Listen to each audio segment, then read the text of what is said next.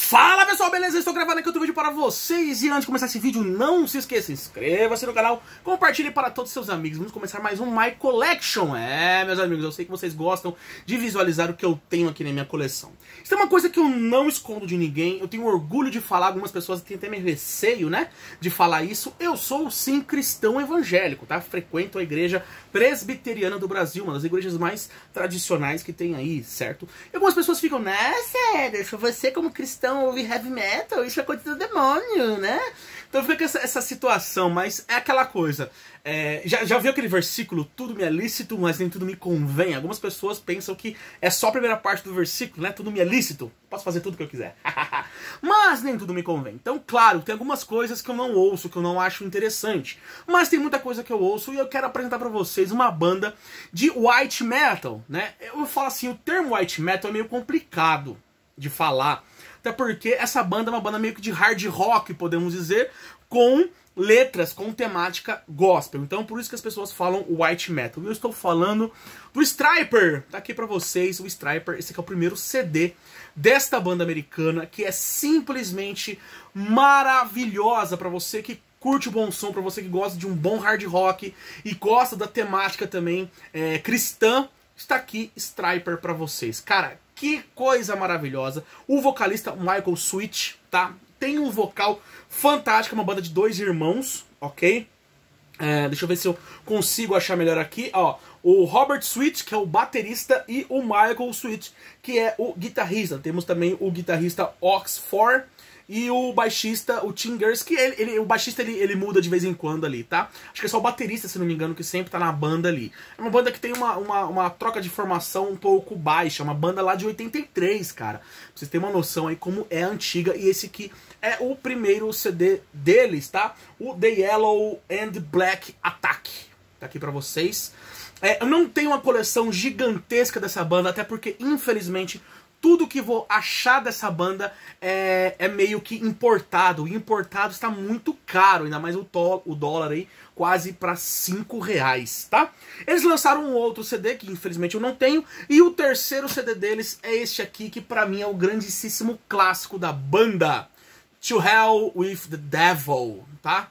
Então olha só, este CD tem uma das melhores músicas para mim, que se você pegar a tradução dessa letra, cara, que coisa maravilhosa, que é a última música número 11, More the Man, tá? É fantástico, né? Para o inferno com o demônio, né? É, é meio que um negócio assim, se você não aceitar, vai pro inferno com o demônio, tá? Tá, eu sei que é meio que meio que pressão, né? Falar assim, ah, se não aceitar Jesus Cristo, você vai pro inferno, mas tem todo um contexto por trás disso perante a letra e é super interessante a gente entender essa questão da letra desta música aqui, tá? Então assim, esse aqui, interessante falar também que este álbum, a capa foi censurada. Esta capa aqui é a censurada, ok? A capa original é, tem, tem vários anjos meio que é, descendo para o abismo, assim, então, um abismo, um, uns anjos de guitarra, tocando guitarra, eles descendo para um abismo, meio que um inferno mesmo, tá?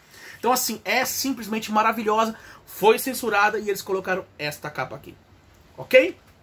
É, eu também tenho o uh, In God We Thirst, né? Que essa música, a música I Believe You, ela foi praticamente uma música mais pop, uma música mais comercial, tocou em várias e várias rádios, tá? I Believe in You. É fantástica. Inclusive eu tenho um vinil, cara, deste Striper aqui, deixa eu procurar aqui para vocês, cara, agora que eu fui lembrar que eu tenho o vinil. Deixa eu procurar aqui para vocês, deixa eu tirar meus vinil, OK? Aqui, aqui é meus, meus, meus vinil, pessoal. Então, não é este, não é este, não é este. Eu tô jogando essas coisas e o pessoal vai me matar. Achei. Aqui, ó. Striper, tá aqui. In God We Thirst, certo? Fantástico esse álbum também, ok?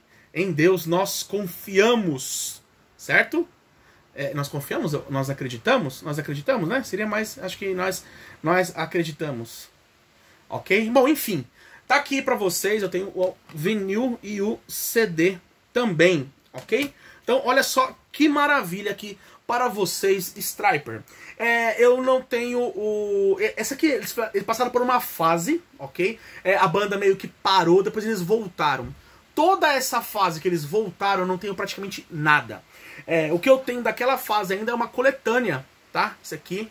É, Can't Stop the Rock. Não pare com o rock, né? Tá aqui pra vocês. Isso aqui é uma coletânea, não é um CD é, com músicas inéditas. Infelizmente, Striper só tenho esses, certo? Só tenho esses quatro albinhos e o vinil. É uma banda que eu super recomendo para você, para você que é cristão evangélico também, para você que não é, cara. Inclusive, uma vez, eu acho muito interessante, eu estava num, num barzinho e o cara tava tocando Striper, né? Olha só como o preconceito é complicado, cara.